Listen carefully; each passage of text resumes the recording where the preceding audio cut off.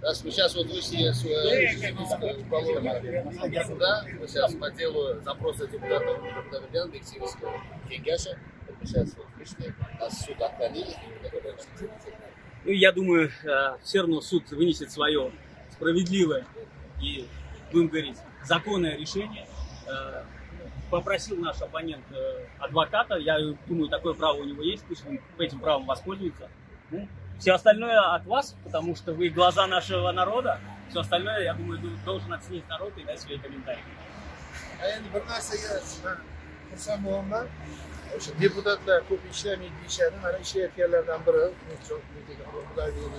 mana ishlayapti xalq uchun harakat qilyapti bu ham xuddi mana shu bugun sud jarayoni ham shu bo'yicha bo'lyapti xalqqa osonlik bo'lishi uchun degan maqsadda o'sha zaproslar berilgan o'sha tema bo'yicha u yerda o'sha ishga bo'lgan munosabat yaxshi bo'lmaganligi uchun mana e, sud bo'lyapti sudga berganlar.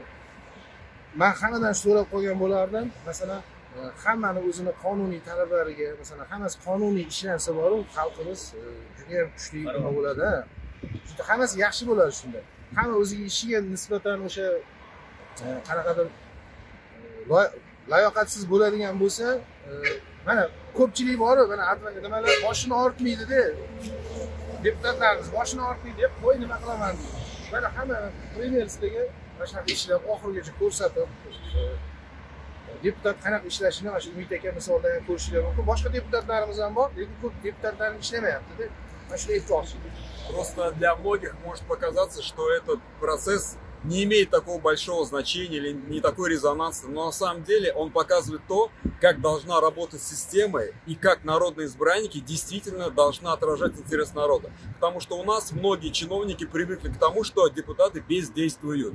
На самом деле, когда сейчас появляются действительно народные депутаты, которые заинтересованы в том, чтобы все, все законы работали, и для их эффективной работы, когда они требуют запрос, а госчиновники, госструктуры должны максимально отвечать в соответствии с установленным законом, процедурам и порядком. Наверное, вот это главное. И вот это один из первых прецедентов того, что заставить госорганы слышать и исполнять волю депутатов как представителей от народа. Вот это, наверное, самая главная и значимая вещь в показательном вот в этом процессе.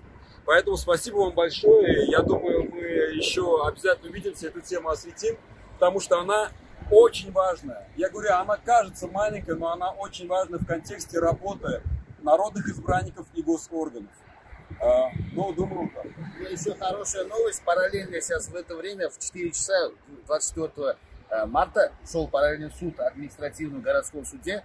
Э, предприниматели иск подали апелляционном порядке э, Хакимат города Ташкента и предприниматели, застройщики Urban Developers на иск заявление, что первой инстанции предприниматели Универсам Юнусабадского района, что предприниматели иск, иск Хакимат отклонили, оставили силы первой, первой инстанции, что да, выделение земельного участка по застройку на месте торговых рядов Универсам решение, два решения Хакима города и решение ситуации Хакима об выделении отменили.